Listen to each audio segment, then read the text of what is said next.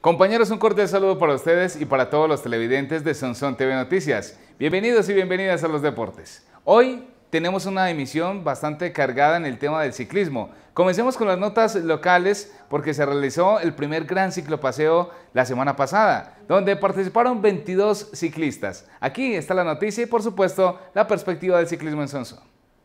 Con la participación de 22 personas, la semana pasada se realizó en Sonsón el primer gran ciclopaseo del año, que salió desde Sonsón hacia la vereda Chaverras.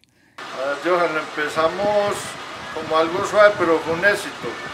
Lo sacamos de acá del taller, lo fuimos por la circunvalar, por ahí bajamos a Puente Baldosas, volvimos al pueblo, sexta y séptima, y después nos fuimos para Chaverras, a una finca que que nos ofrecieron allá un sobrino y allá almorzamos, hasta echamos un partidito y animaba a la gente porque para el próximo, que cuándo va a ser.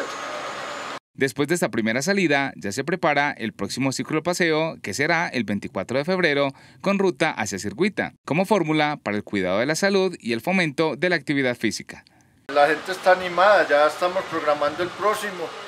Veo mucha gente del lado de Llanadas, con bicicleticas de todo terreno o sea, esa gente es la que lo anima a uno, los del pueblo. Hasta por cierto montamos un grupito en Guasal que quiera integrarse, bienvenido sea. Y el próximo se va a realizar el, 24 de febrero y se le informará por las redes sociales o por este medio también a, la gente. O sea, primeramente por lo que usted menciona, Johnny, actividad física.